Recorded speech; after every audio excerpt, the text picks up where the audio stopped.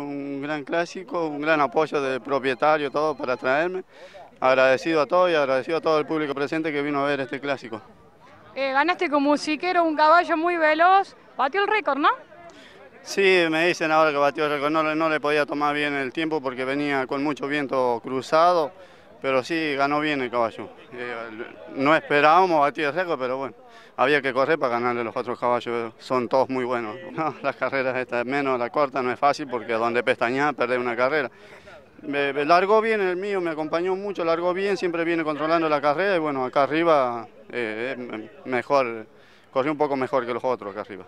Sí, sí, la, verdad que no esperaba tanto calor y, bueno, eh, creo que el viento cortó un poco más el calor porque en los bosques, yo estuve ahí en los bosques hasta recién y hacía mucho más calor que acá, pero sí. Bueno, ¿dedicarle este triunfo a alguien? Eh, en especial a los dueños del caballo, que ellos son los que hicieron todo lo posible por traerme, porque hoy estaba para ir a correr a otro lugar y bueno, eh, de este caballo creo que nadie se, quisiera bajar. Entonces aposté por venirme a correr este caballo, correr una sola carrera y no ir a otro circuito y correr tres o cuatro carreras.